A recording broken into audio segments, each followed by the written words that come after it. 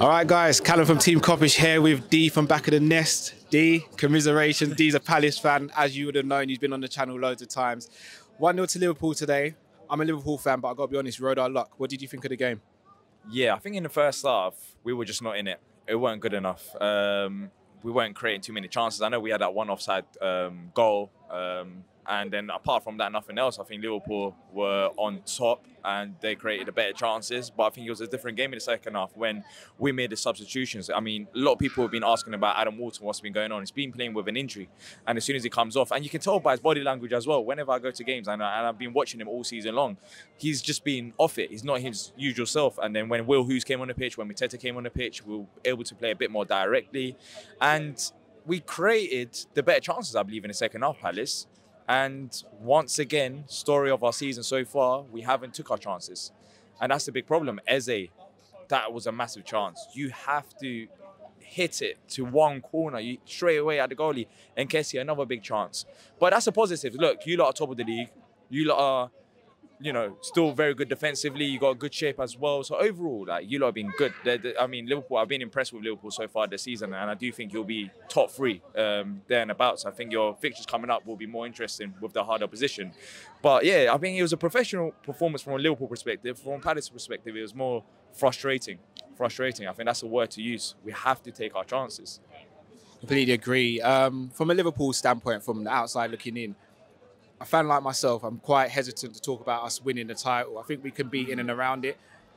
When you look at games like today and where we are in the league, and some of the players like Ryan Gravenberch, who's really hitting top form, do you think we can go all the way this season?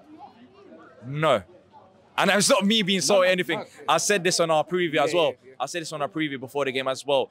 I feel like there'll be hurdles along the way, but expecting a manager to win the league in his first season is a bit too much as well. I know look, Liverpool Football Club expectations are going to be high. Naturally so, you should be aiming. But me personally, I feel like you're going to, I know it's just going to happen. I know at some point of the season, there might be one or two games or three games where something gets figured out by the opposition. Like we've seen it even at Palace with, with Glasner trying to experiment and find his starting 11. That will happen. And when that happens, with how the league has been with City and Arsenal, I feel like that will catch up to you lot, and eventually that's why I don't think you'll win the league.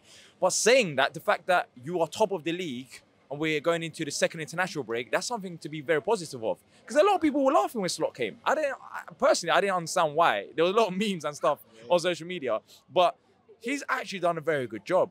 You know, he's had he's taken a big responsibility, taking over, uh, taking over from Jurgen Klopp, who of course won the Champions League and the Premier League, and he's got his own system. It looks settled. It's not as frantic at times as Jurgen Klopp's was, but it gets you results. You got the three points today. You kept the clean sheet away from home. You spoke about as well. Selhurst Park for opposition is not always. I know you always get results, but it's not always the easiest. You saw the chance Never in the second pretty. half. Yeah, and and there's so much to be proud of. But in terms of winning the league, it's, it's I just don't see it happening. Uh, naturally, so if you do, that would be incredible. That would be incredible. But go, I mean, you're on the right. You're you're on the right step. You'll probably improve your squad as time goes on. Slot will figure out a few things as well. Uh, teams it, it, it, balances out. It balances out in terms of you know the chances created, chances against over the season. So so yeah, we'll see. We'll see what happens. Absolutely. Well, I'm not going to keep you too long, bro. Tell the people where they can find and support you. Yeah, back of the nest on YouTube. Um, Palace content, the pressure, therapy shows, therapy shows at this point. But yeah, but thank you for having me on. Pleasure, bro. Thank you so much, man. Right, take it, bro.